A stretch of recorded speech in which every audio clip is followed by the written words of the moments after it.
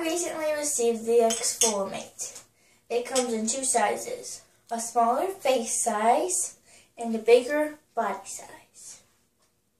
It has a little bead on the strap here, and you push it up and down to make the little loop bigger and smaller. And then you can just hang it on your hook, either in the shower or by the sink. I hung the body one up because I'm going to be showing you how to use the face one. So you put soap or a mud mask or any other thing on your face, and then you use the Exfolimate to really exfoliate your face when you take it off. So you just scrape it off and you use a little bit of pressure. And I actually have soap on my face. And then in a couple minutes or seconds, it is all the way off. And then my face is usually a little wet, so I just pat it with a towel. And then it is done. And these are the Exfolimate.